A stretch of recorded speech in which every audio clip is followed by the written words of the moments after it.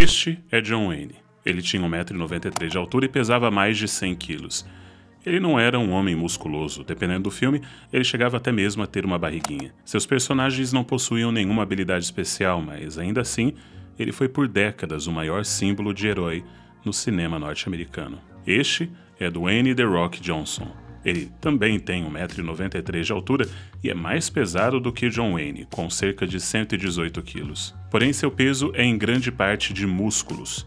Seus personagens são pessoas com força sobre-humana, e ele chegou até mesmo a ser um super-herói, se bem que isso não deu muito certo. Mas ainda assim, ele representa uma nova geração de heróis de cinema, cada vez mais poderosos. O herói mudou, todos nós percebemos. Os grandes heróis de 80 anos atrás não seriam capazes de lutar contra os super-heróis que hoje dominam as telas.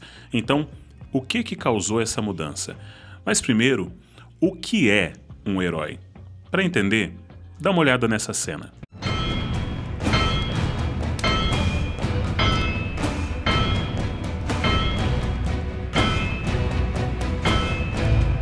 Tony Stark foi o primeiro grande herói dessa primeira fase do universo cinematográfico da Marvel. E essa cena, uma das mais emblemáticas do filme, ela é carregada de simbolismos muito mais profundos e antigos do que se imagina e está enraizado na mitologia grega. Este é Hefesto, um deus grego conhecido como o deus da forja e da tecnologia. Nascido de Zeus e Hera, Hefesto foi expulso do Olimpo e jogado ao mar. Lá ele aprende o ofício da forja e, após ser restaurado ao Olimpo, de suas mãos saem as armas e armaduras de vários deuses e semideuses. Ele é o criador do capacete de Hermes, da armadura de Aquiles, e também foi ele quem forjou o poderoso raio de Zeus. Percebe as semelhanças com Tony? Problemas paternos, habilidades tecnológicas, criação de armas. Herói é uma palavra que tem a origem grega justamente por conta dos heróis da mitologia antiga.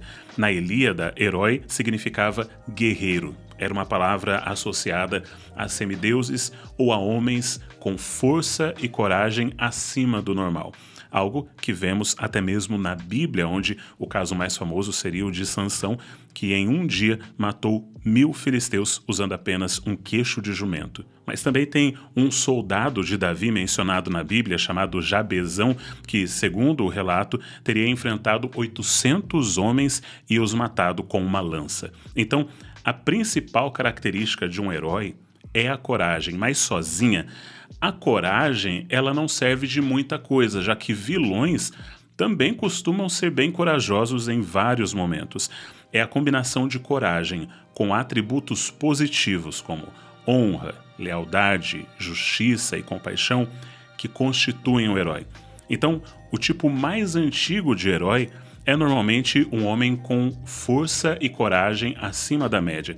E existem muitos tipos de herói na ficção, especialmente quando a gente fala de cinema. Tem o herói cowboy, o herói do dia a dia, o herói de ação, o herói policial, herói de guerra, herói híbrido, super-herói e até mesmo o herói divino. E os roteiristas e escritores vão escolher o herói correto para o problema correto. Basicamente, cada herói é uma resposta a um medo ou a uma ansiedade social. Por exemplo, em 1929 aconteceu a Grande Depressão que mergulhou os Estados Unidos numa crise financeira como nunca antes, levando a insegurança econômica e mudanças sociais muito rápidas. Os heróis do Velho Oeste, como John Wayne, eles representavam a ordem em meio ao caos, na terra sem lei eram figuras de integridade moral que restauravam a justiça, respondendo a esse medo de desordem econômica e moral que havia na sociedade. Mas nas décadas de 60 a 80, o tipo mais comum de herói nos cinemas era o herói policial, por conta da crescente criminalidade nos centros urbanos. Os criminosos eram cruéis e desumanos e precisavam ser parados a qualquer custo. Surge então a figura do herói policial. Mas esse herói não é qualquer policial. Apesar de ele pertencer ao sistema, ele se mostra claramente uma figura antissistema. Ele briga com os seus superiores, ele age sozinho, ele não usa métodos convencionais e até mesmo quebra a lei ou a distorce para poder pegar os criminosos. A ideia era de que, para acabar com um mal maior, um mal menor às vezes era necessário. Um dos maiores exemplos dessa época é Harry Callahan, mais conhecido como Dirty Harry. You could ask yourself question. Do I feel lucky? Sempre brigando com seus superiores, mas sendo ao mesmo tempo muito competente em seu trabalho, esse herói aparece em cinco filmes com o grande Clint Eastwood mostrando toda a sua marra. A década de 80 ainda teve um outro medo, um medo que durou décadas, na verdade, nos Estados Unidos e que deu origem a um tipo de herói muito específico.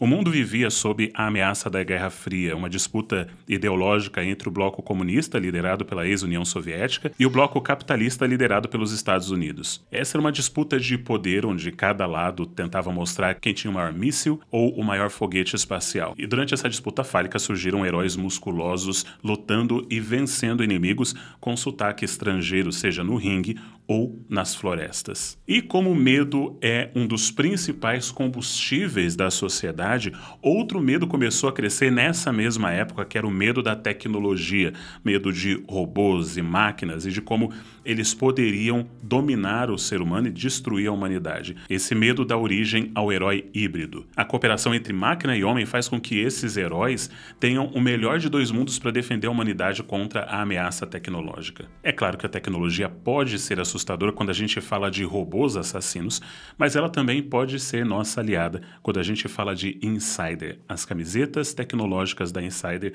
possuem tudo o que você precisa para ter conforto e ficar na moda o ano todo. E este é o mês de aniversário da Insider, que está comemorando sete anos, uma data muito importante e desde o começo, a Insider sempre traz produtos de excelente qualidade para o consumidor. E eu gosto de verdade de todos os produtos, gosto muito das camisetas, eu amo a bermuda da Insider. Eu vou para academia, vou para o cinema, eu vou para tudo quanto é lugar com as roupas da Insider, porque elas realmente são muito confortáveis e servem para qualquer momento. E para comemorar essa data, esta semana o site está cheio de descontos. E se você usar o meu cupom Jurandir12, os descontos podem chegar até 27%, mas isso é por tempo limitado, entre os dias 15 e 28 de abril. E entre os dias 18 e 21, o site todo estará com frete grátis. O link está na descrição ou aqui no QR Code aqui em cima. Agora, se cada medo produz um tipo específico de herói, qual foi o medo que produziu os super-heróis? Nos quadrinhos, a chamada Era de Ouro dos super-heróis foi durante a Segunda Guerra Mundial. Diante de um problema tão grande, o mundo precisava de forças sobre-humanas para conseguir superar. Mas os filmes de super-herói do universo cinematográfico da Marvel foram influenciados principalmente pelo terrorismo.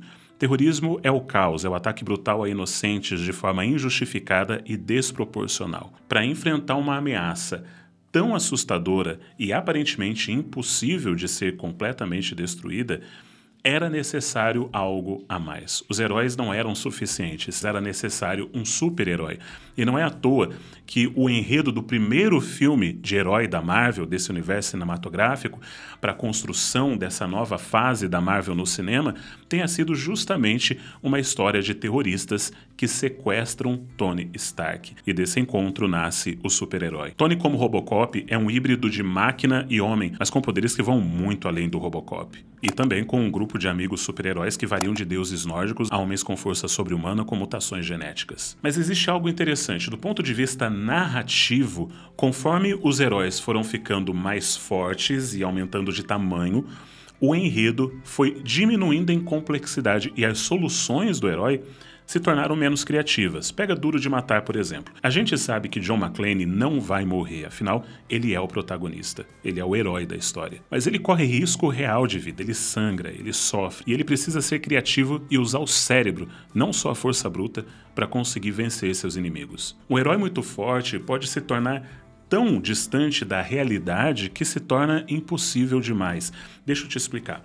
A gente pode resumir todos os heróis em três categorias: o herói comum, o herói incomum e o herói impossível. O herói comum seria o cowboy, o herói do dia a dia, o herói de guerra. Esses são heróis que não possuem habilidades especiais ou sobrenaturais. Eles não possuem nenhuma força descomunal, não possuem nada que você ou eu não possuímos. Seu heroísmo está dentro dele, está no seu caráter, na forma como ele enxerga o mundo, no seu desejo de fazer a coisa certa. E essa coisa certa pode ser desde resgatar uma donzela, ou defender uma cidade, seu país, ou sacrificar seus sonhos individuais pelo coletivo, como a gente vê no filme filme a felicidade não se compra. Já o herói incomum, ele é um upgrade do herói do dia a dia. Ele é muito mais forte, muito maior do que os heróis tradicionais. Sua capacidade de quebrar coisas e pessoas é o mais importante. Se ele quebrar tudo por um motivo nobre, é ainda melhor, mas o objetivo principal é a demonstração de sua força. Agora, o herói impossível é um upgrade exagerado e inalcançável. O herói agora possui poderes sobre-humanos. Esses poderes podem ser explicitamente exagerados, como a capacidade de voar, de lançar raios ou de força sobre-humana, ou implicitamente exagerados. Os problemas que eles sofrem são de ordem sobre-humana também. Eles não estão tentando salvar uma única pessoa, nem mesmo tentando salvar uma única cidade. Eles estão lutando para salvar o mundo todo, em alguns momentos até mesmo o universo. Não faria sentido dar tanto poder para o super-homem para que ele gastasse seu tempo lutando contra bandidos comuns, ladrões de banco. Ele precisa de oponentes à sua altura.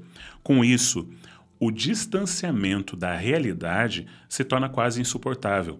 Sobram poucos, em alguns casos, quase nenhum elemento de identificação com o espectador comum. O herói é impossível.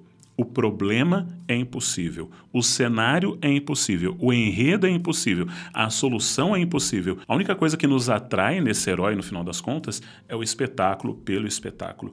Por isso, a introdução de Thanos na Marvel foi tão essencial, porque os heróis começaram a morrer de verdade, com isso a dinâmica mudou, o risco real surgiu. Quando o herói não corre risco, então o escritor precisa colocar esse risco em algo que esse herói ama, pode ser uma pessoa, por exemplo. Super-Homem é invencível, mas em muitas histórias nosso medo não é pela segurança dele, mas de sua amada Lois Lane. Aliás, nesse ponto a gente tem algo em que os heróis modernos superam os heróis mitológicos. Na maioria das histórias da mitologia grega, a motivação do herói para suas aventuras era, na maioria das vezes, completamente egoísta, fosse a busca pela glória ou uma disputa pessoal com algum deus, ou a busca por justiça e vingança pessoal.